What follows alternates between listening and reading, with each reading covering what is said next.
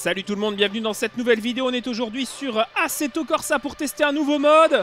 Et c'est parti pour une petite course sur le circuit de Bahreïn avec la dernière née de chez Race Sim Studio, la Formula RSS 2013 V8 avec euh, pas mal de choses à vous dire sur ce mode. On est évidemment au circuit de Sakir. On va essayer de déjà gagner quelques positions sans trop toucher euh, d'autres monoplaces. C'est pas facile à piloter mais c'est une voiture que je voulais absolument prendre le temps de vous présenter. Alors que la Marussia derrière essaie de me tacler, ça ne passera pas. Alors, la Formula RSS 2013 avec, vous l'avez sans doute déjà bien reconnu à l'oreille, le dernier V8 de l'histoire de la Formule 1. En tout cas, un mode qui, comme à l'habitude, propose beaucoup de finesse et de détails. Justement, parlant de détails, c'est un mode qui vous est proposé avec donc un seul modèle 3D, une dizaine de skins reprenant les 20 voitures de la saison 2013 de Formule 1 sans aucune licence officielle. Tous les skins que vous allez voir qui reprennent des vraies écuries ont été ajoutés par mes soins avant le tournage de cette vidéo. Vous pouvez d'ailleurs apercevoir que dans la liste, euh, les sponsors sont d'ailleurs bien placés. Même si vous ne fouillez pas pour de nouveaux skins à rajouter dans le jeu, ceux de base vous permettent quasiment sans aucune erreur de reconnaître les équipes qui étaient présentes sur la grille de départ à l'époque. Alors ce mode vous est proposé donc pour 3,80€ en temps normal. Euh, un mode qui est d'ailleurs euh, très régulièrement en réduction comme l'ensemble du store d'ailleurs de chez RSS. On va essayer de ne pas trop bloquer les roues ici. Une voiture qui est assez complète dans ses options et ses réglages. Le DRS manuellement disponible qui s'ouvre dès que l'on peut hein, sur euh, Assetto Corsa. En tout cas sur les circuits qui le permettent. Avec les différents types de pneus proposés, vous pourrez gérer une course complète, tendre, médium et dur avec les bandes adaptées. Il existe un mode hein, qui permet de mettre les pneus Pirelli avec les vrais sponsors sur euh, les pneus. Je ne l'ai pas installé puisque euh, à l'heure où je tourne cette vidéo, il n'est pas encore complètement adapté.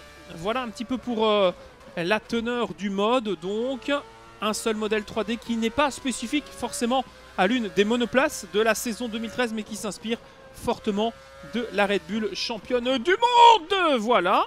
Eh bien, merci Lia. Alors justement Lia, faut que je vous. Alors il y a un empilement dans mon rétroviseur.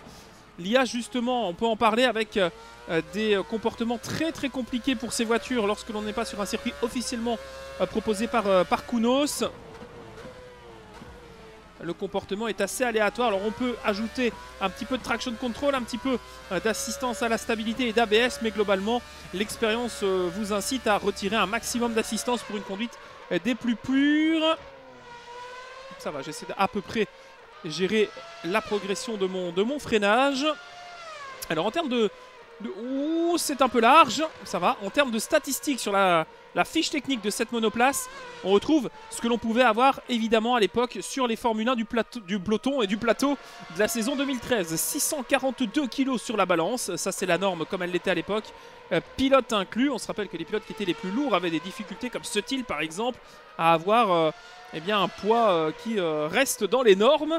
770 chevaux aux roues, un couple à 310 Nm et une vitesse maximale estimée à 340 km/h. J'ai moi ici raccourci la dernière euh, boîte parce qu'on n'est pas sur des tracés où il y a besoin d'énormément de vitesse de pointe, même si Bahreïn se défend en ligne droite imposante, il n'y a quand même pas de longues, longues, longues lignes droites comme à par exemple, où on pourrait avoir besoin d'un petit peu plus de, de VMAX. Et je n'ai pas non plus baissé l'aéro qui est bien évidemment réglable comme l'étalonnage de la boîte et le reste de ce que proposaient les Formule 1 de l'époque. On va essayer de revenir sur le peloton qui est devant nous pour vous proposer quelques dépassements dans la suite de cette vidéo. Et voyez que on n'est pas à l'abri de se faire piéger hein, avec cette monoplace qui, lorsque l'on passe la puissance avec euh, les premiers rapports, est particulièrement piégeuse. Vous en avez vu euh, l'exemple ici.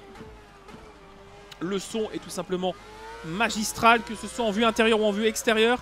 On peut véritablement se faire plaisir. Le dashboard qui est euh, fixe, hein, contrairement à d'autres modèles. Ce qui euh, rappelle bien l'inspiration de la Red Bull.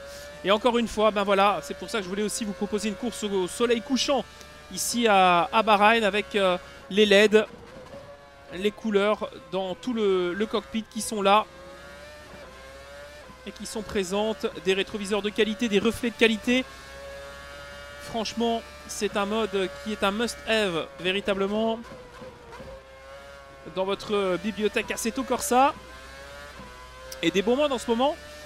Il n'en sort plus beaucoup. On commence à avoir fait un petit peu le tour hein, sur Assetto Corsa. Tout est quasiment disponible maintenant.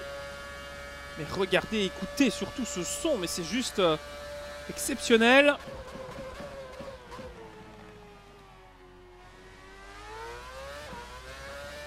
Et surtout, cette voiture témoigne donc d'une époque révolue en Formule 1, le dernier moteur V8 euh, existant avant l'arrivée des V6 hybrides qui ont amené Mercedes au sommet. Avec leurs 8 titres de champion du monde, on sortait de 4 ans de domination Red Bull, avec plus ou moins de résultats pour euh, tantôt Ferrari, tantôt McLaren et tantôt Mercedes, mais quand même, la voiture qui restait la référence était les Red Bull euh, pilotés par Weber et, et, Vettel. Et cette voiture euh, que l'on doit d'ailleurs à Adrian Newey était euh, magistrale. Et le moteur euh, qui bah, sonne comme un, vrai V8, bien sûr, mais proche du, moteur Renault. Et c'est vrai que sur le site de Race Department, on peut déjà trouver une belle série de skins. Et vous pouvez quasiment reproduire l'entièreté de la grille 2013, avec même quelques décos un petit peu plus fantaisistes. Moi, je voulais absolument qu'il y ait la, livrée de la Red Bull officielle dans cette vidéo. Sinon, vous retrouvez les, partenaires hein, de Racing Studio qui vont d'ailleurs gentiment envoyer l'entièreté de leur catalogue. Ils ne font pas que des monoplaces, hein, ils font aussi du, GT. On peut euh, vous conseiller différentes vidéos sur cette chaîne. Hein. la Formula RSS 3 était vraiment très très fun.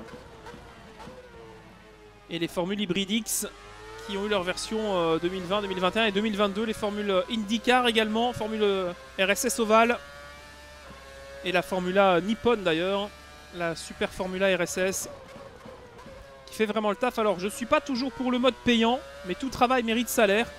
Et euh, j'estime que dès que, à l'image de Rockstar, dès qu'on met un petit peu de denier dans une production sortie de chez Racing Studio, on prend énormément de plaisir derrière un volant. Et c'est encore le cas dans cette vidéo. Franchement, je vous invite fortement à, débourser un petit peu de centimes. Parce qu'on retrouve hein, des modes historiques avec parfois une voiture ou peu de skins, peu de... Là, on a vraiment le panel complet et puis le feeling de la voiture bien rigide, le DRS, les réglages, les lumières, la modélisation 3D, la sélection de caméras. Vous allez voir, je pense, pendant toute la vidéo, la, série de, de caméras euh, utilisées. C'est vraiment, vraiment cool. On sent aussi une véritable différence en fonction des pneumatiques qui sont montées. Moi j'ai monté les tendres pour avoir un peu plus de grip. Parce que je vous avoue que si je commence à, enlever quelques assistances, on peut avoir des frayeurs comme on a eu tout à l'heure dans le premier secteur. Surtout comme ici, voilà, si on veut réaccélérer sur un vibreur, la voiture a tendance à, partir très, très rapidement. C'est-à-dire qu'il y a énormément d'appui en virage. On peut avoir beaucoup d'adhérence avec la monoplace. Et puis d'un coup, d'un seul, l'arrière part. Et on peut se retrouver avec le train arrière qui veut passer devant l'aileron euh, avant de la voiture. Donc ça c'est un, symptôme qui euh, est proche de ce que donnaient je pense les Formule 1 de l'époque, sans jamais en avoir piloté une malheureusement.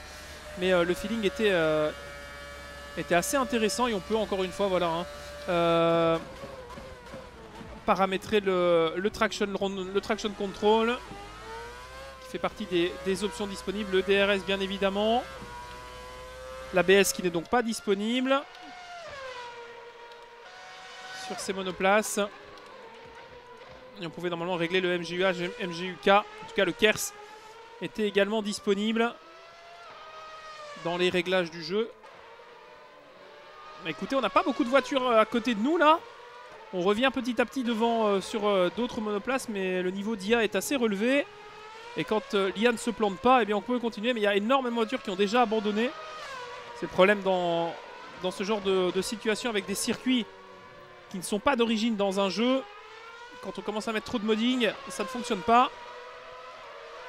Mais ici, c'est particulièrement réussi. Non, non, le feeling de la voiture est génial. Quand on écrase les freins, quand on réaccélère, on sent vraiment le, roulis.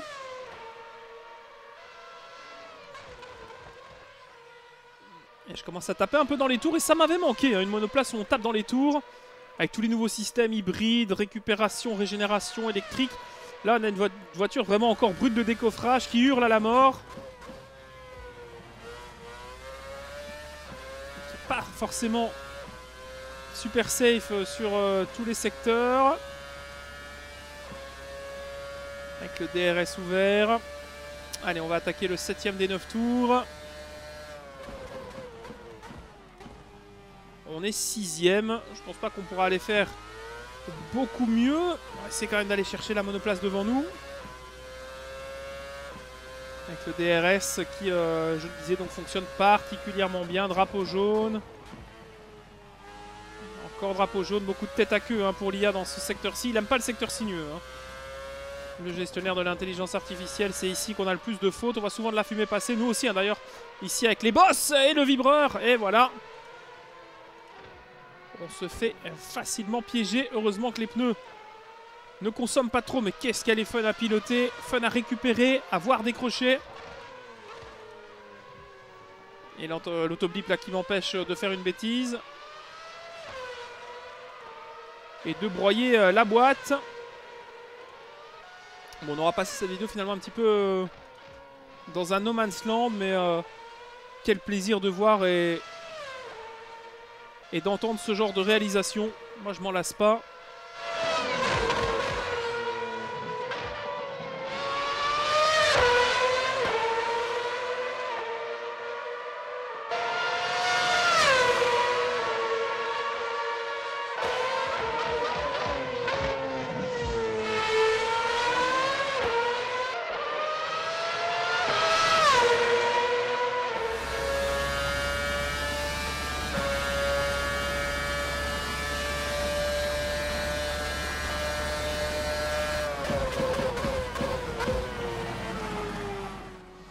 Ah, y a rien à faire, hein. ça hurle, ça hurle vraiment bien comme il faut. Donc je vous conseille véritablement sans hésiter d'aller chercher un petit peu de monnaie sur votre compte Paypal et de euh, soutenir les développeurs de chez Racing Studio parce que le travail qu'ils nous proposent ici est encore tout simplement phénoménal.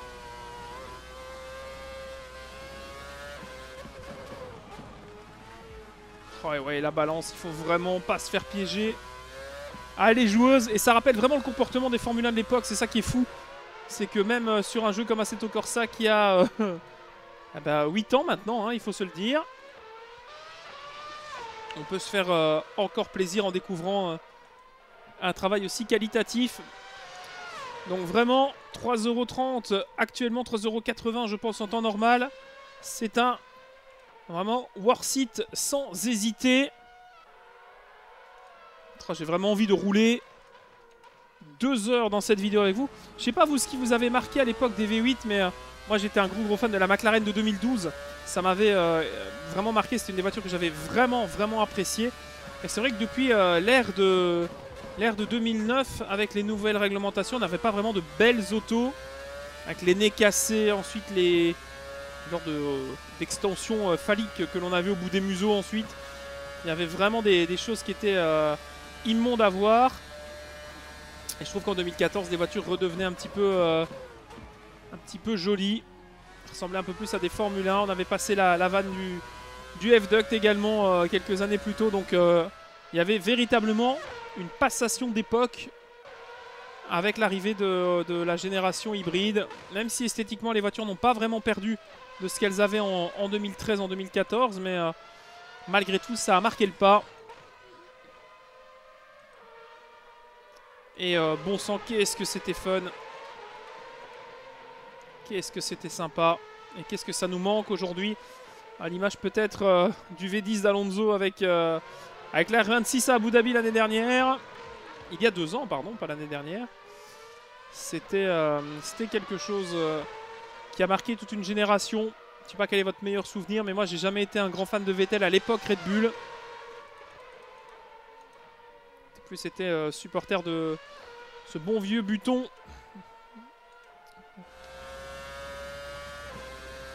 Et on va aller chercher la ligne d'arrivée avec des pneus qui commencent un petit peu à en avoir euh, vécu.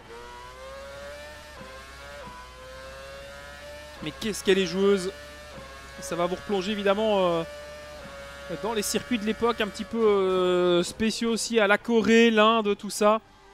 Tout ça est, disponible sur Assetto Corsa. Alors vraiment, du fond du cœur, faites-vous plaisir avec cette voiture. Et du fond des oreilles aussi. Il y a vraiment de quoi se faire plaisir. Et bien voilà, drapeau à damier. Et merci à vous d'avoir suivi cette vidéo découverte. On se donne rendez-vous eh bien, dans quelques jours pour d'autres vidéos. D'ici là, les amis, n'hésitez pas à réagir en commentaire. Et bon amusement en piste, quel que soit votre jeu de course favori. Moi, je vous avoue que je vais repartir faire quelques tours. Salut